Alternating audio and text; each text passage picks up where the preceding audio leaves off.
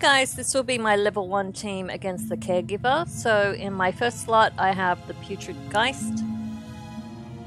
Second slot is the Eye of Corruption.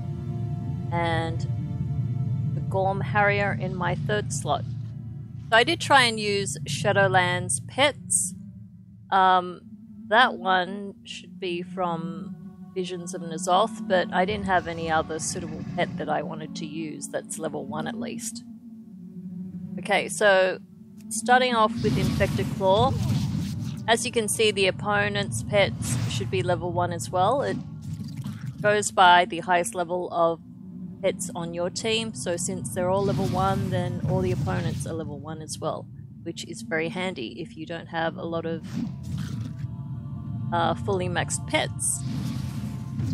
You can see this is going pretty well so far.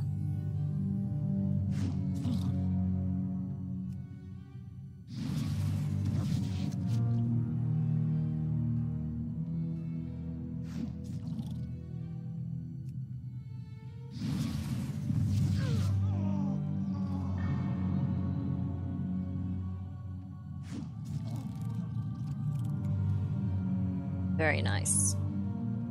I may as well just throw him in for another turn because he's not going to last much longer anyway. Okay.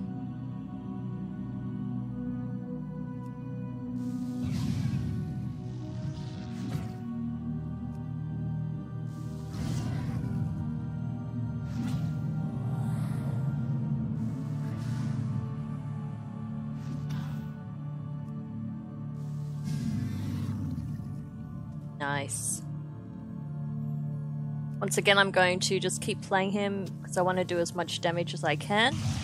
Oh, and look at that. He wasted his glowing toxin on this pet, which is now disposable.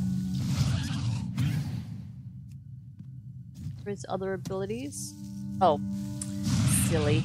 He only has one, since he's a level 1.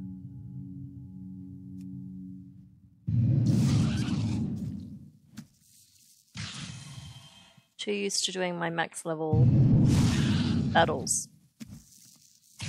But this should be enough to get the world quest done at least.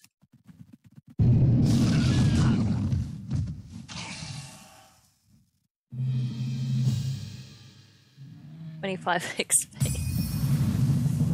Oh well, there you go. Hopefully that helps some of you out if you're not really into pet battling. So as usual, thanks for watching and I'll see you for the next video.